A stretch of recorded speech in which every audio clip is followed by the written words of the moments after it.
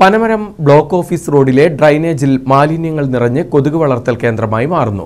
നിരവധി ആളുകൾ ആശ്രയിക്കുന്ന റോഡരികിലെ അഴുക്കുചാൽ മാലിന്യം നീക്കം ചെയ്യാൻ അധികൃതർ മടി കാണിക്കുന്നതിൽ പ്രതിഷേധവുമായി നാട്ടുകാർ. പനമരം ടൗണിനോട് ചേർന്നുള്ള ബ്ലോക്ക് ഓഫീസ് റോഡിലെ ഡ്രൈനേജ് കൊതുക് വളർത്തൽ കേന്ദ്രമായി മാറിയിട്ട് മാസങ്ങളേറെയായി. ടൗണിൽ നിന്ന് ഒഴുകിയെത്തുന്ന എല്ലാവിധ മാലിന്യങ്ങളും ഇവിടെ കെട്ടിക്കിടക്കുന്നതിനാൽ മൂക്കുപൊത്താതെ ഇതുവഴി നടക്കാൻ സാധിക്കില്ല. Panamaram block panchayat office police station Nirmithi Kendra തുടങ്ങിയ സ്ഥാപനങ്ങളിലേക്കുള്ള പ്രധാന റോഡരികിലാണ് ഈ ദുർഗതി വന്നതെന്ന് നാട്ടുകാർ പറയുന്നു. ഇവിടെ ഫുള്ളായിട്ട് ഫുള്ള് വെള്ളവും ഇത് വേസ്റ്റൊക്കെ ആയിട്ട് ഇവിടെ ബ്ലോക്ക് ഓഫീസ് പോലീസ് സ്റ്റേഷനിൽ പോകുന്ന ആൾക്കാർ മൂക്ക് പൊത്തി പിടിച്ചാണ് പോകുന്നത്.